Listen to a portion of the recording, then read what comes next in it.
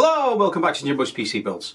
Today it's time to do a bit of a different video when I'm going to look at my main build and look at to see if I can improve the temperatures when playing games.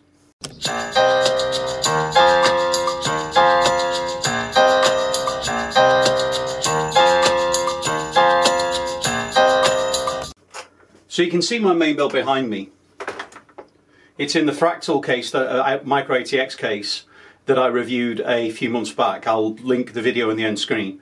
Um, but everything's been going great with this. During, when I was using it during the winter, I didn't really see any problem with temperatures. But now we're in the uh, summer, and it's a bit warmer in the basement where I where I actually do my work and play my games and stuff like that. So what I've found is that the, my GPU temperature was getting up to 95 degrees Celsius. The CPU's fine; it's around 77. So what I did is I took the side panel off and uh, see what the temperatures went down. They went down to 84 on the GPU. But what I noticed is because the CPU is not really being taxed that much when I'm playing games, the the actual because the at the front of the case we've got a have got a uh, all-in-one cooler and it's got the radiator at the front and the fans for the radiator are connected to the CPU so if the CPU gets hot then they kick in so with the CPU not being that hot really the, the fans on the front of the case were not really getting up to any kind of any kind of high uh, volume, so they weren't pushing a lot of air in. So what I was noticed when I put my hand in, I couldn't really feel any air coming through, which would be hitting the GPU. So what was happening is my, G, my, my GPU's been starved of, of cooler air. So what I'm going to do today is now in in this case, one of the downsides of it is you can only put a AIO radiator in the front. So what I'm going to do is I'm going to take the AIO out. What I'm going to do is then put an all-in. I'm going to put a, a good air cooler in it. And I'm going to leave the two fans in the front, but I'm going to connect them up to the motherboard and see if I can use software so they'll be going off the GPU temperature and see what one what the impact on the GPU is to see if I can get them down to the 80s instead of the 90s, and two um, to see also um, if my CPU still maintains a temperature around 77 and that doesn't go too high. Um, and that might be the configuration I go to. This is re really, it's not that the, the, the, fans can't put enough air through the radiator, it's just because the CPU is never getting hot enough in games, because not many games really tax the CPU that much, that I've been noticing this has been like been stifled. And because it's a micro ATX case, and there's not much air for it available from below, the only really place it's going to get fresh air is to come in through the front. So in this particular case, I've got a feeling that um, by adding, say, I'm also maybe going to put a, a, an exhaust fan on the top to see if I can keep keep it two and two to keep a nice balanced airflow, and see if that's going to improve improve the temperatures any. All right, without further ado, let's uh, unplug my main PC and let's go and put the air cooler in and maybe put an additional fan in.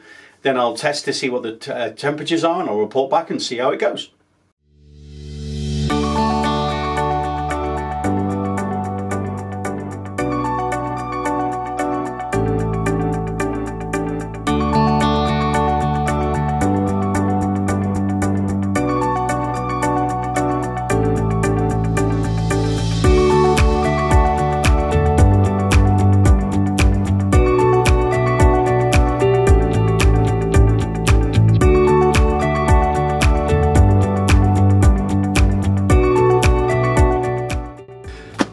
Cooler I'm going to try and put in and see if it fits is a Noctua NH-D15.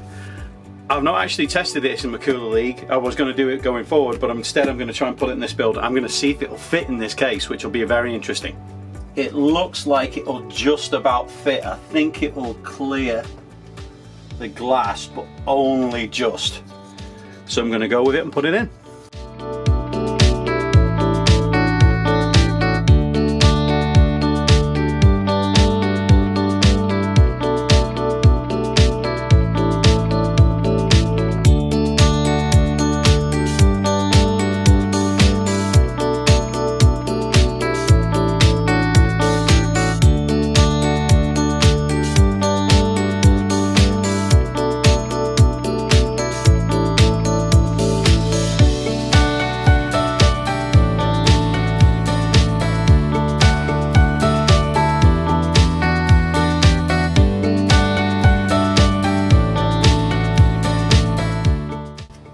Due to the height of the memory and the uh, motherboard MOSFET uh, cooling, um, I'm only going to be able to put one fan on, which is going to restrict it a little bit in terms of its cooling, but we should still be okay. But that's the uh, the uh, cooler installed. So let's get the GPU back in and then we'll test it again when playing games. So I've completed my testing after changing the cooler in my PC. Um, it came out better than I expected. The CPU is still hovering around 77 degrees Celsius when I'm playing um, World of Warships, which is the game I was playing in the first instance when I was hitting 96 degrees on the GPU. The GPU is now hitting 86 degrees and I've actually heard the fans on the case kicking in to put more cooler air in to help the GPU out. I didn't wasn't able to set in the BIOS to follow the GPU temperature, but what I was able to do is to go for the system temperature because the motherboard I've got has got a, a, a system um, setting a system sensor so it was able to follow that and it's putting a lot more air in and it's going to 86 and it takes actually takes a little bit longer to get there as well which is a real result. So the PC is a lot cooler and I'm really pleased with it. The cooler uh, fit in as you can see over there. And the, I was only able to put one fan on it but it's still doing its job as well as the liquid cooler was which to be fair the Noctua cooler I put in is a bit of a beast so it's kind of not a surprise um, but yeah, everything went well. So, in summary, it was definitely um, the fans on the AIO were not kicking in enough to put enough air in to, to cool the GPU down. It was choking. By moving out the AIO and putting a really good cooler in on the CPU, I was able to achieve uh, good temperatures on both.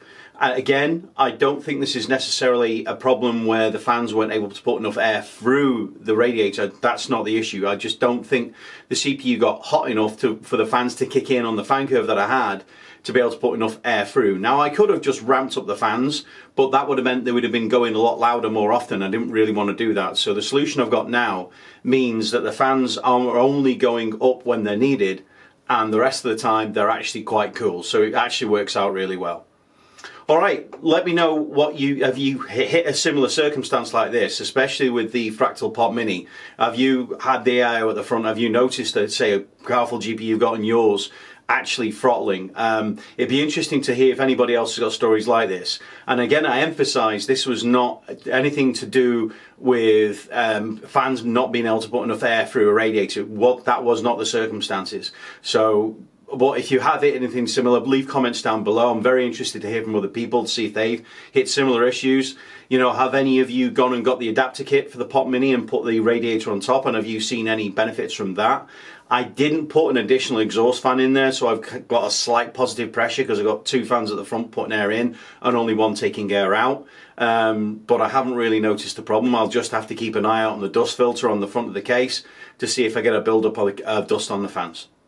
All right, I hope this information was useful. It, hopefully, similar circumstances, you may it may help other people if you do something similar to your machine. If you've seen uh, adverse temperatures on your on your PC, um, it, I said if you please leave a comment down below. If this was useful, please put toss a like on the video because that's always helpful.